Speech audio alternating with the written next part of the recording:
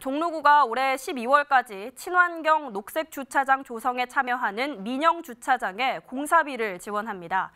친환경 녹색 주차장을 신청하는 민영 주차장에는 주차장 한 곳당 바닥 포장과 조경 공사 등을 구청이 지원해 최대 3천만 원을 지원받을 수 있습니다.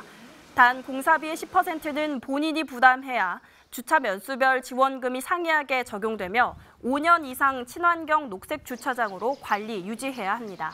자세한 사항은 종로구청 주차관리과로 문의해야 합니다.